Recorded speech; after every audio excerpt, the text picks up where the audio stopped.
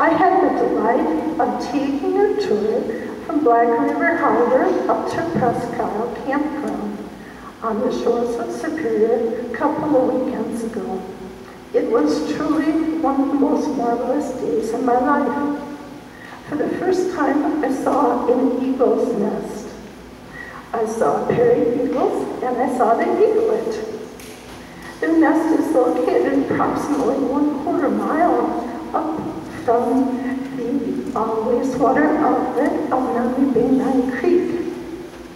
I would like you, as uh, stewards of our precious gifts here in my precious state, to answer this question for me. Can you guarantee me, will those eagles still be here after that project?